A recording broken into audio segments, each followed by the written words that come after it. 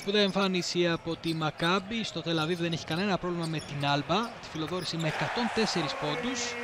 Είχαμε να δούμε τη Μακάμπι να υπερβαίνει τους 100 πόντους σε ματς Euroleague από τις αρχές του 2018.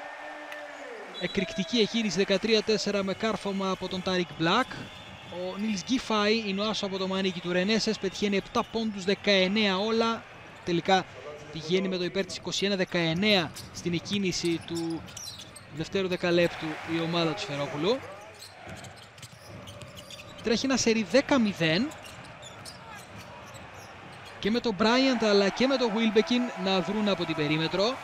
31-19, αρχίζει και ξεφεύγει η Μακάμπι Τελαβίβ. Ωραίο καλάθι από τον Ντόρσεϊ, πήρε και το φάουλ. 33-22.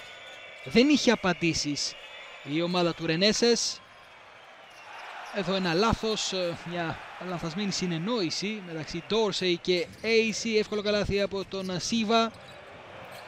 Έκανε πάρα πολλά λάθη η Άλμπα. Τα εκμεταλλευόταν η παρέα του Βίλμπεκιν.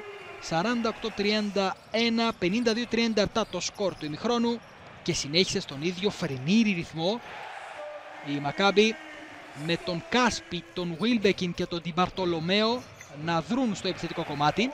Στο τρίτο δεκάλεπτο ο Κάσπι πέτυχε 8 πόντους, ο Ντιμπαρτολομέο πήρε φωτιά, πέτυχε 9, συνέχισε στον ίδιο ρυθμό και στο τέταρτο δεκάλεπτο δεν υπήρχαν απαντήσεις από τους Γερμανούς, οι οποίοι και πάλι δέχθηκαν περισσότερους από 100 πόντους, όπως είχαν δεχθεί 106 στον αγώνα με την Έφε και 103 στον αγώνα του Βαρσελόνα.